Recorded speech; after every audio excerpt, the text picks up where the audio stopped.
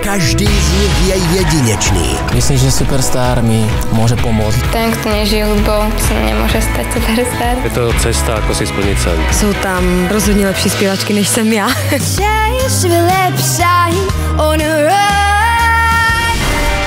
Chcem ťa počúvať aj ďalej.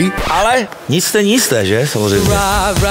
Za mňa do Superstar nie. Vůbec. Ne. Určitě ne. A Palo hovorí, že nie. Čau, maj sa dobre. Keď budeme toto počúvať, tak sa nám niečo môže stať.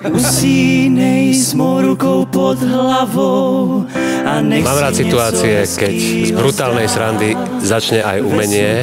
Taký, aký ste v svojom vnútri, tak to ste nám teraz dali. Soutěžících jsou tisíce, ale superstar může být jenom jedna. Superstar od 16. februára na Markíze.